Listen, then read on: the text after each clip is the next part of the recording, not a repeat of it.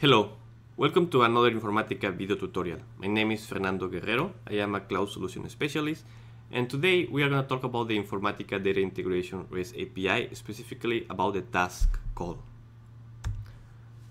So what are we going to see in this video? Well, first we are going to explain what you can do with this API. We will have a little demo and then I will share a link for documentation about this specific API. So the first thing that you are wondering is like, what can we do with Informatica Task REST API?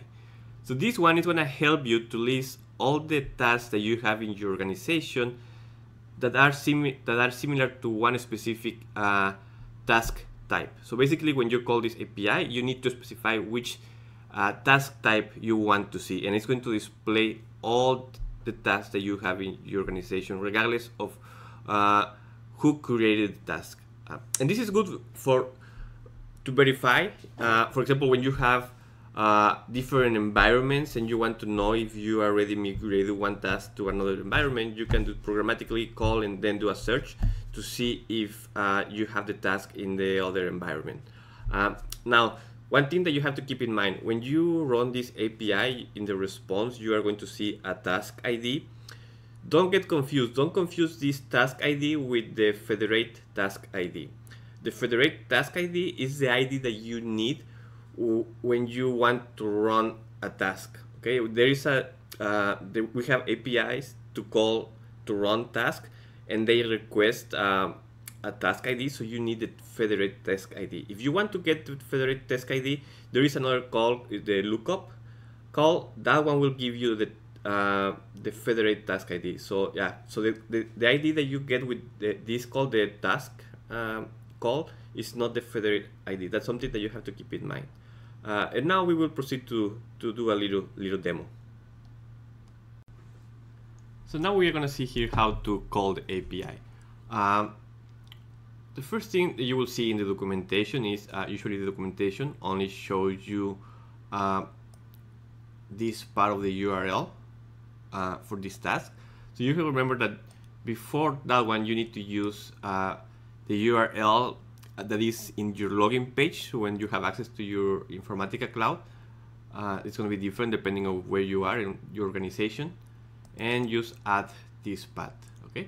So this is what you will see in the documentation and you know that you will have to add all these uh, you need to log in first. You need to use the uh, version 2 login. Uh, that one is going to give you the IC session ID and then you get it from there and you put you need to put it here in your, in your headers. This one is a content type accept uh, application XML so just just keep that in, in mind where you are using this this API call.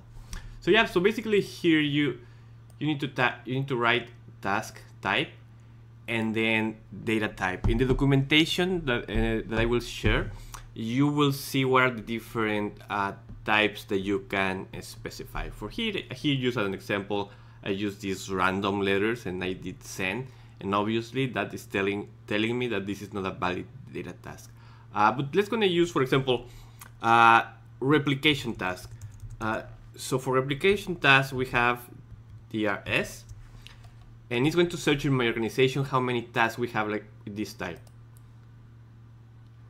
Here we don't have any response, so that means that we don't have any uh, replication task in our organization. Uh, let me search for another one. This will be a PowerCenter task. Will be PCS. And we have two like that in in our organization. Uh, let me search for another one. That will be a mapping task. Oh, so here, so before going to mapping task, you see uh, you get uh, the ID that, that was I, I told you before. Don't get confused uh, with this ID and the federate ID. Uh, this ID is only for this task, uh, but when you want to run task, you need the federate task ID. There is there is another um, API call called lookup that will give you the federate uh, task ID. Okay, so here it's just giving you the names of the tasks uh, and who created and, when was created uh, and also when was updated. That's the information that you get to this. But let me search now for mapping task. Okay. So yeah, here we, here we have a, a lot of them and you can see here this list is really long. Um, the information here is going to be blurry because I have to uh, protect the, the user's email. So I am going to blurry when I am uh, scrolling down, but this is just to give you that it's a long, to show you it's a long list of mapping tasks that we have in this organization. So yeah, if you want to know if you already migrated um, one task from one environment to another environment, you can call this API and quickly search for the name of the task that you that you want. That will be a, a use for this for this task.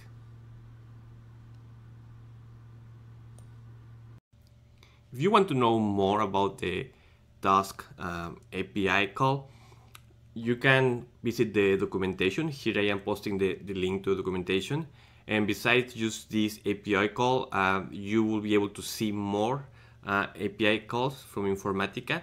And the information from one API call could be the foundation for another one. So you can mix and match API call, calls in order to achieve what you want. We will appreciate your feedback. Um, you can send us an email or you can post uh, in our social uh, networks and give us give us your opinion about uh, these videos. Thank you very much.